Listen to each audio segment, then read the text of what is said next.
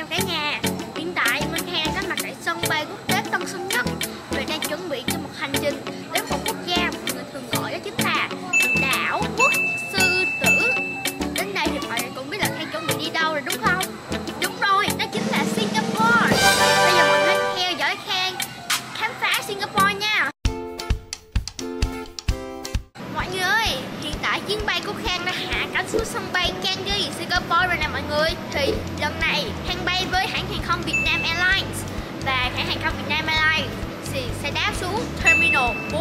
của sân bay quốc tế Changi.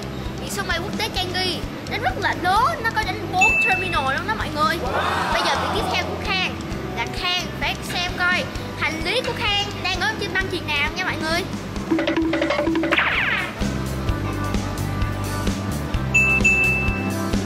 Khang biết rồi mọi người Hành lý của Khang đang ở trên băng chuyền số 5 Bây giờ Khang đến băng chuyền số 5 nha. Một lúc sau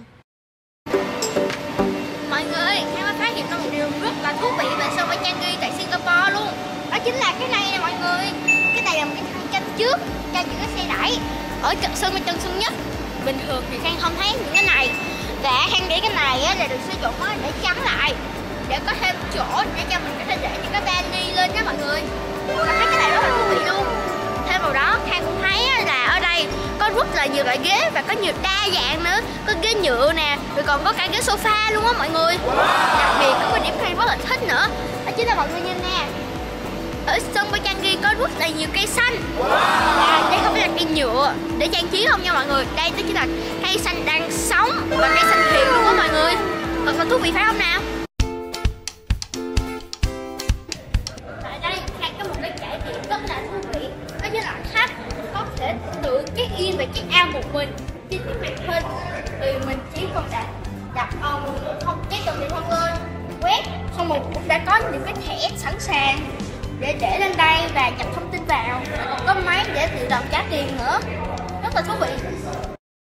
sau sau khi đã check in rồi thì bây giờ Khang sẽ review phòng của Khang nha.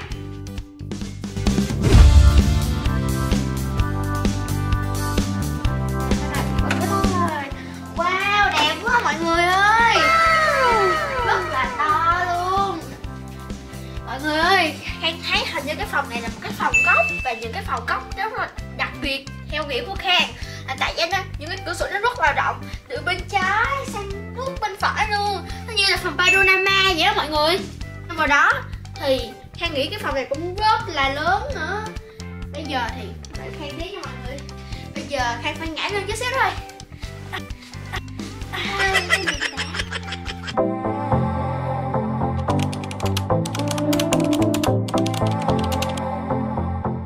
Tại mặt một rất là nổi đến Singapore.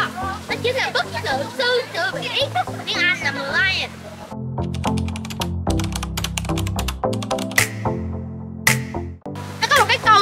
lịch sử đằng sau con linh vật này luôn đó mọi người.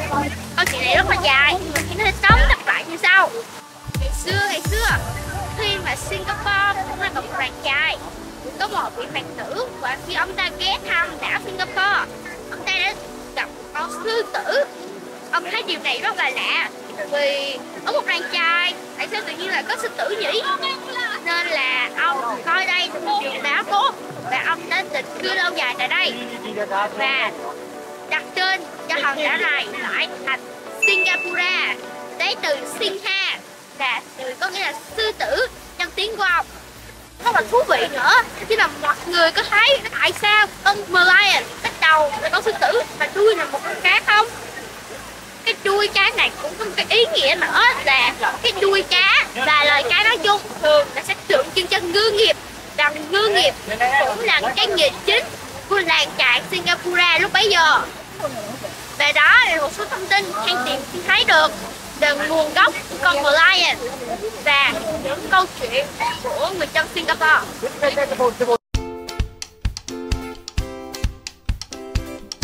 Một kinh nghiệm mà Khang có được khi đi MRT tại Singapore chính là nếu mà mình có trẻ em dưới 7 tuổi thì mình có thể được cấp một cái thẻ như thế này. Cái thẻ này thì là thẻ miễn phí khi mà mình đi. Và cái thẻ này thì có thể được cấp tại những quầy tại những nhà ga mà nhà ga giao lộ, có nghĩa là nó có hai tuyến giao lại với nhau. Kể cả người nước ngoài cũng có thể làm được các thẻ này. Mình chỉ cần cầm theo cái passport và tới những cái quầy vé và khi đó mình sẽ đưa passport cho người cho nhân viên và nhân viên sẽ trả lại mình cái passport và cái thẻ.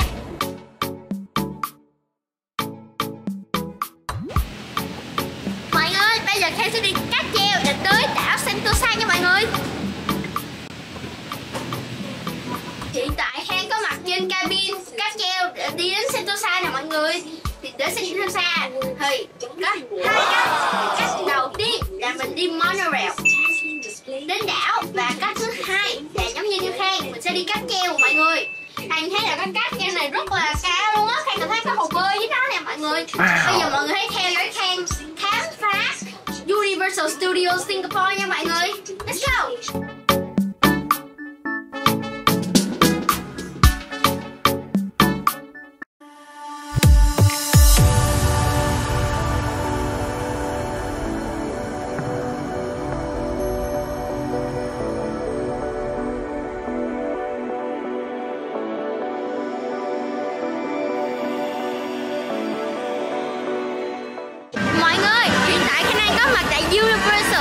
Singapore Studios Singapore tại đảo xa. Khanh thấy á, tại vì trời rất mưa xong nên nó rất là mát. Và Khanh thấy là ở đây thì nó thanh thoáng và vé vào là đều tự động, không chạm lên nha mọi người. Khanh thấy ở đây cũng có một cái mái che y chang như VinWonders vậy. Nếu mà mọi người chưa xem video phú quốc của Khang thì mọi người có thể xem theo đường link dưới phần mô tả nha mọi người. Thôi, bây giờ hai phải đi khám phá đây.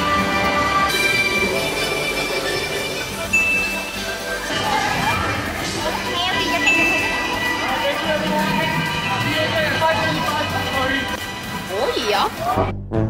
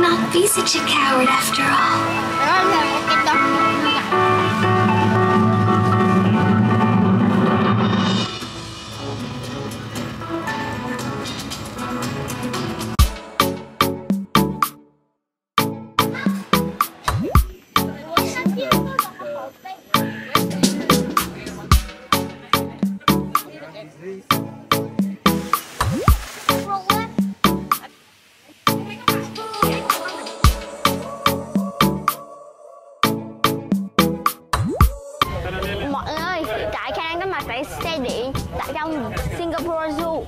Thì để em di chuyển ở trong sở thú singapore, thì có hai cách.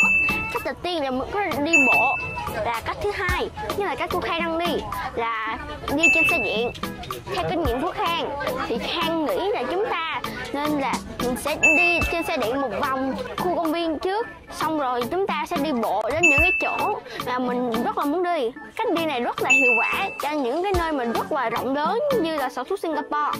Mọi người lưu ý một điều, đó chính là mình có thể lên hoặc xuống xe bất cứ lúc nào. Nhưng mà phải tại trạm nha mọi người. Chứ không phải là khi mà xe nó dừng vì một câu chuyện gì đó, và tài xế sẽ nhắc nhở mình. Chẳng hạn như bây giờ đằng sau lưng khang là chuồng orangutan. Thì bây giờ khang sẽ nhớ lại là gần trạm số 1 là cái trạm khang vừa đi qua là có trạm orangutan và xíu nữa kia khang đi bộ. Khang sẽ tới trạm số 1 xong rồi đi chút xíu để đến trạm orangutan. Anh ơi hiện tại khang đang có mặt tại khu vực của các chú bồ nông các chú bầu năm này rất là thú vị một chỗ, đó chính là các chú bầu năm sẽ đi với nhau và vây lại các cá lại theo hình móng ngựa. Xong rồi sẽ múc cá lên, xong rồi xả nước ra trong mỏ của mình, xong rồi ăn cá mọi người. Cách ăn này rất, khang thấy rất là thú vị luôn. Bởi vì á, khang không có biết con nào khác mà ăn như vậy hết.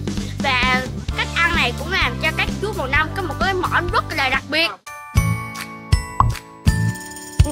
Có mặt tại chuồng ngựa vàng. Đây có một thông tin Khang rất là muốn chia sẻ cho mọi người luôn. Mọi người có biết là loài ngựa vàng này, đằng sau lưng Khang, là ngựa vàng của Gravy, được đặt tên theo một vị cựu tổng thống Pháp, Jules Gravy, người đã được vị vua của nước Abyssinia, ngày nay là nước Ethiopia ở châu Phi, tặng một con ngựa của giống loài này vào năm 1882 thật là thông tin thú vị đã khi đọc được thông tin này trên những cái bảng có mặt tại tất cả những cái chùa, có mặt tại một những cá thể cây đặc biệt xung quanh sở thú Singapore này đó mọi người. Nên là khang nghĩ là nếu mà mọi người có đến đây, thì mọi người cũng nên đọc những cái bản thông tin này, vì nó sẽ cho mình rất là nhiều thông tin rất là thú vị và hữu ích trong cuộc sống nha mọi người. Lần này khi đến thăm sở thú Singapore, thì Khang thấy một cái thông điệp mà Khang thấy rất là nhân văn và Khang rất là thích luôn Every visit helps animals in our zoo and their wild friends too. Dịch tiếng Việt đó chính là mỗi lượt vé vào cổng sẽ đóng góp vào quỹ hỗ trợ các động vật trong sở thú và các động vật hoang dã khác. Có thật thú vị phải không nào? Hiện tại đang có mặt tại khu Fragile Forest Tạm dịch nôm na tiếng Việt là một khu đặc biệt cho các bạn động vật đang có nguy cơ tuyệt chủng.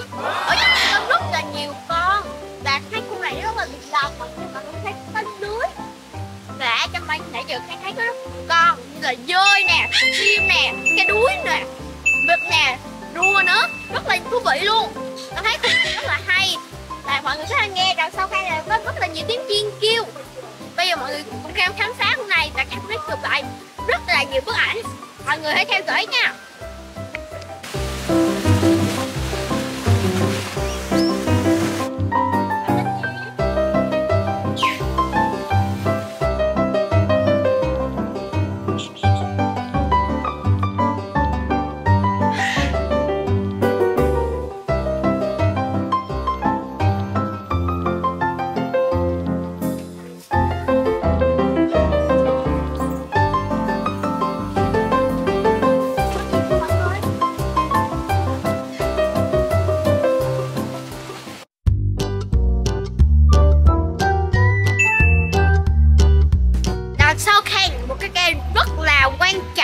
Người đó chính là cây changi loài cây này ngày xưa được phát hiện tại vùng Changi của Singapore. Mọi người có biết sân bay Changi không? Khang nghĩ chắc là ở chỗ đó đó mọi người. Và cái cây này được suy nghĩ là đã tuyệt chủng tại đất nước Singapore. Nhưng vào năm 2002 người ta đã phát hiện ra một cá thể của cây changi ngoài tự nhiên, nhưng mà hai tháng sau thôi trong vòng một đốn cây bất hợp pháp, thì cây changi đã bị đốn xuống và đã bị biến thành gỗ, giống như đã làm bàn, làm ghế đó mọi người. Nhưng mà những cái người yêu thiên nhiên đã có thể cứu được chính mảng gỗ của cái cây changi gốc. Và một nhà điêu khắc đã khắc ra từ những cái tượng, từ những cái miếng gỗ đó để thể hiện cho những giai đoạn của cuộc sống cho cây changi cái cây changi đó được đoán đến 150 tuổi lần đó mọi người. Nhưng mà may mắn đó chính là trước khi mà cây đó đã bị đốn xuống, thì những cái hạt giống của cây đã được thu thập lại. Và một trong những cái cây con được mọc ra từ cây changi gốc là được cái cây đằng sau lưng khang đó mọi người. Thật là buồn nhưng mà cũng rất là thú vị nữa. Kỳ này, tại sở thú Singapore đang có một chương trình rất là đặc biệt đó chính là Festive Wild Honest. Thì nếu mà mình đến sở thú Singapore mà chỉ mặc đồ trắng đen giống như Khang, thì mình sẽ có thể một cái quầy là mình có thể đổi được một cái 500 gấu panda rất là dễ thương nè mọi người. Thêm vào đó ở suốt trong Night Safari, River Safari và cả sở thú chính.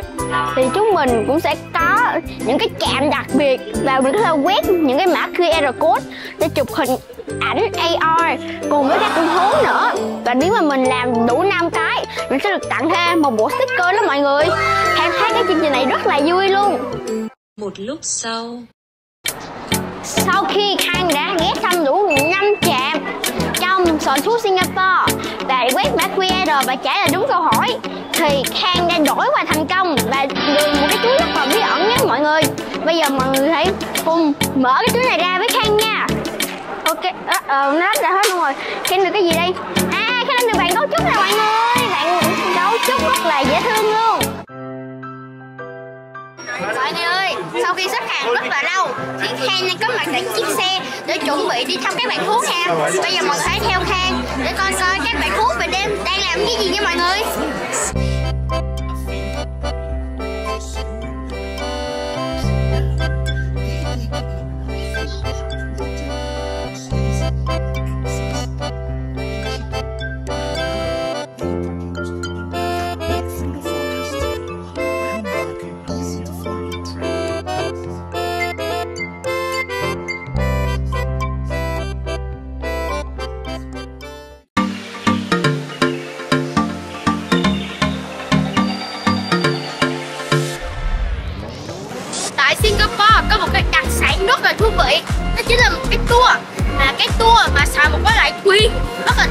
là khuyên vị vích.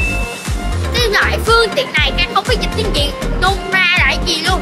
Bởi vì cái này á dịch tiếng Anh là thuyền vịt nhưng thực sự cái này không phải là thuyền vịt và đây là một loại thuyền được sử dụng để vừa đi trên cạn và vừa đi dưới nước được. Trong các uh, chiến tranh như là chiến tranh Việt Nam lúc bấy giờ nhưng mà còn vài chiếc thuyền còn sử dụng được và đã được sử dụng tại Singapore là một phương tiện đi tour và cái tour này khang nghe được chứ là sẽ có đoạn rồi mình đi được dưới nước. Và cũng sẽ có đoạn mình sẽ đi ở trên bờ, để đi ngắm những cái dâm nam thắng cảnh của Singapore. Thật là thú vị. Đến thôi!